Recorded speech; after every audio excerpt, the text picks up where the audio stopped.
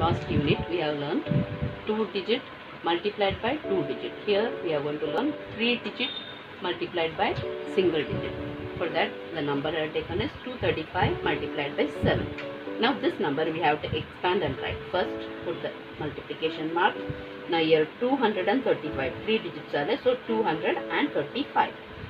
Here 200 so 2 in 100 two zeros put those two zeros.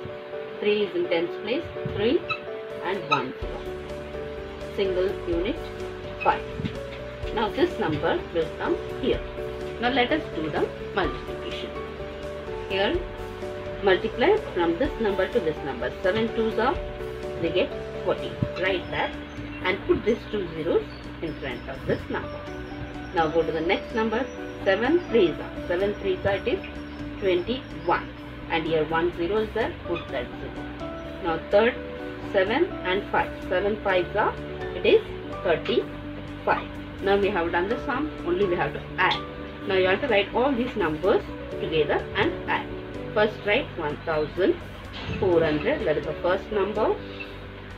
Second number 210 and the third number 35 always write the number according to their place.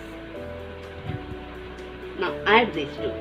0, 0, 5 is 5. 0, 1, 3. 0 and 1 is 1. 1 plus 3 is 4. 4 and 2, 6. 1 straight right.